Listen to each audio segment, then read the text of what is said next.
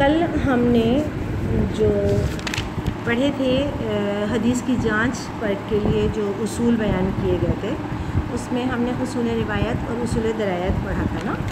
तो अब हम उसूल गरीबुल हदीस पढ़ेंगे।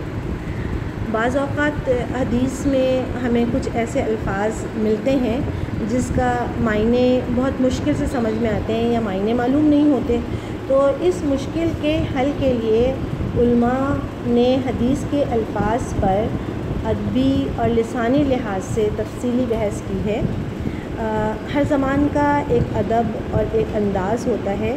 बाज़ एक लफ्ज़ कई मायनों में मुश्तमिल होता है और बाज़ जगह ज़ेर ज़बर के मामूली फ़र्क से मायनों में बहुत फ़र्क आ जाता है। अरबी तो आपको पता है कि बेहद वसी और अदबी ज़बान है और अहले अरब जो है इस अरबी ज़बान को बग़ैर आराब के यानी कि ज़ेर ज़बर पेश के लिखते हैं। ने उसूल गरीबुलहदीस में अदीस में आने वाले अल्फाज से मुतल तहकीक की है कि अरबों में राइज मुहावरे के लिहाज से इनका मतलब क्या है। ये किसी पस मंज़र में इस्तेमाल हुए हैं। और इन अल्फाज का इस ज़माने में क्या मफहूम लिया जाता था? यानी इन अल्फाज के इन ज़माने में क्या मायने लिए जाते थे? मसलन, एक हदीस का टुकड़ा है कि जब तुम आईना के साथ ख़रीदो फ़रोख्त करने लगो तो अल्लाह तुम पर ज़िल्लत व महकूमी को मुसलत कर देगा।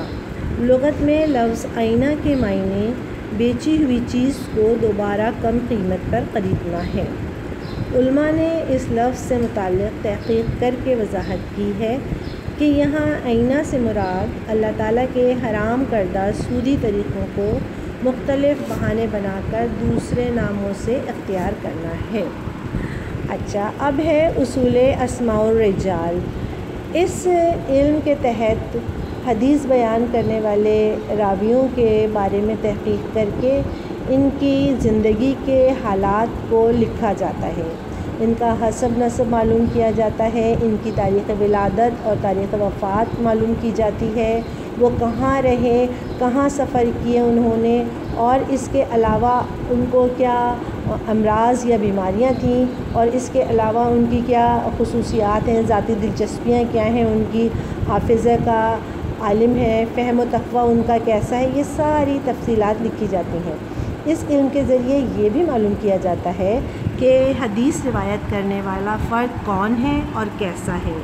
इन मुकम्मल तफसीलात के बाद ये मालूम किया जाता है कि रिवायत करने वाला फ़र्द कौन है और कैसा है। और फिर इसके किरदार में कोई ऐसी बात तो नहीं कि इसकी रिवायत करदा हदीस को कबूल करने में रुकावट हो। रिजाल के सिलसिले में जो अजीम शान काम हुआ, इसका एतराफ़ गैर मुस्लिमों तक ने किया है। एक जर्मन मुस्तरक डॉक्टर स्प्रिंगर ने लिखा, कोई कौम दुनिया में ऐसी ना गुज़री, ना आज मौजूद है जिसने मुसलमानों की तरह रिजाल का अजीम शान फ़न ईजाद किया हो, जिसकी बदौलत आज पाँच लाख आदमियों का हाल मालूम हो सकता है। यानी कि जर्मन अंग्रेज़ जो डॉक्टर हैं, उन्होंने भी इन मुसलमान लोगों की मेहनतों का और काविशों का एतराफ़ किया है कि उन्होंने कितनी तहकीक की है इस हदीस के उसूल बनाने में। इतनी तहकीक के बाद ये मुमकिन भी नहीं रहता कि कोई नाकबिल फ़र्द या नाकबिल एतबार शख्स की बयान करदा हदीस को कबूल कर लिया जाए। अब है इसके बाद उसूल जरहा व तादील। इस इल्म के तहत हदीस लिखने वाले के किरदार, अखलाक के एक एक गोशे की इंतहाई बारीक बीनी के साथ छान फटक की गई और उनकी खूबियाँ और खामियाँ बयान की गई। इन तफसीलात के तहत रावियों के मोतबर या गैर मोतबर होने की वजूहत पर भी बहस की गई। इस इल्म असमाजाल में रावियान हदीस के मुकम्मल हालात ज़िंदगी बयान किए गए थे। जबकि इल्म जरा व तादील के तहत हर मुहदस ने इन पर जरा की है कि वो किसी रावी को मोतबर समझ कर इसकी रिवायत को कबूल करता है तो क्यों करता है? और अगर किसी रावी को मोतबर नहीं समझता तो क्यों नहीं समझता? अगर किसी रिवायत करने वाले की हदीस को कबूल करके उसकी रिवायत को वो आगे पहुंचाता है या हदीस को आगे करता है तो क्यों करता है?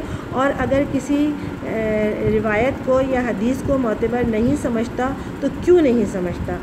अगर ये छानबीन नहीं की जाती तो फिर हदीस की सनत की अहमियत ख़त्म हो जाती और इसका होना या ना होना बराबर होता, यानी इन उसूल का। अच्छा तमाम रावी हजरात जो हैं, वो मुहदसिन के बुज़ुर्ग बड़े बड़े दर्जे के उल्मा और ताबईन और तबा ताबईन थे। वो इनकी बेहद इज़्ज़त और इकराम भी करते थे। मगर इस जरह व तदील का मकसद किसी का रुतबा घटाना नहीं था, बल्कि यह हदीस कबूल करने में बहुत एहतियात का तकाजा था। इमाम अहमद हम्बल रहमतुल्लाह ने जरा व तदील के बारे में फ़रमाया कि यह गीबत नहीं है ये नसीहत है। यानी कि जब हम एक ये उस, इस उसूल के तहत जरा व तादील कर रहे हैं और छान पटक कर रहे हैं और किसी की खूबियों को और ख़ामियों को बयान कर रहे हैं तो वो ख़ामी बयान करना आ, कोई गीबत नहीं है बल्कि वो नसीहत है। इसी तरह मरूफ ताबई अब्दुल्ला बिन मुबारक ने फरमाया ये हक़ को पहचान कर इसको बातिल की आमेज़श से पाक करने का काम है। और इस इल्म पर हज़ारों किताबें लिखी गई हैं और इसी इल्म की बदौलत रावियों की वाज दर्जेबंदी मुकम्मल हुई है। जजाकल्ला ये आपका आज का लेक्चर अख्ताम को पहुँचा। अब आपके लिए होमवर्क है कि इल्म नासिक व मनसूख में हदीस से मुतल क्या तहक़ीक़ात की जाती हैं। सवाल नंबर तीन सवाल नंबर एक और दो आप पहले कर चुके हैं और ये सवाल नंबर तीन है। इसके अलावा आपको सवाल नंबर चार भी करना है। इमाम अहमद हम्बल रहमतुल्लाह अलैह ने उसूल जरा और तादील को नसीहत क्यों करार दिया? यानी कि ये गीबत नहीं है, नसीहत है, जो भी मैंने आपको समझाया, ये क्यों कहा? ये आपने सवाल कर लेने हैं अपनी कॉपी के अंदर। जजाकल्ला